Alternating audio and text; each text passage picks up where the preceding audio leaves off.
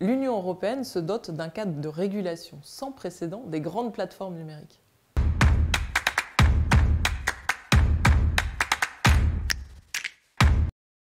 C'était une des priorités de notre présidence française de l'Union européenne et c'est désormais une réalité. L'Union européenne vient de s'accorder sur un cadre de régulation des grandes plateformes numériques, un cadre sans précédent dans le reste du monde.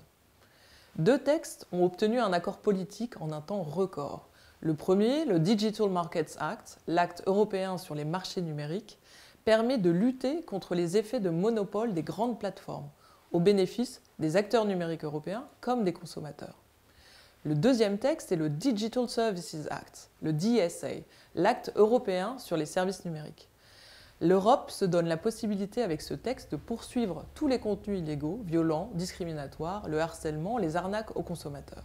En somme, sortir Internet de l'état de Far West et accorder à nos citoyens les mêmes protections que dans la vie réelle.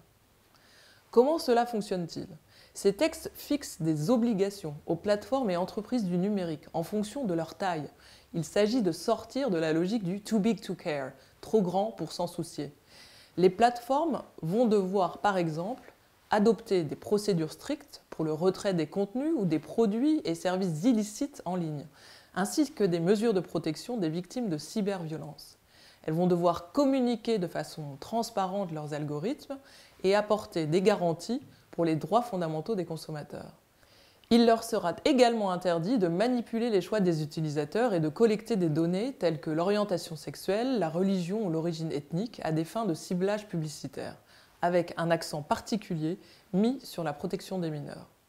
Enfin, les grandes plateformes seront également obligées d'ouvrir leurs écosystèmes et l'accès à leurs services, afin de permettre aux utilisateurs d'effectuer des choix libres et consentis sur les applications et les services qu'ils souhaitent utiliser. L'adoption de ces textes représente une avancée majeure pour nous tous, Européens. C'est l'illustration de l'Europe qui protège ses citoyens et défend le respect de nos valeurs démocratiques.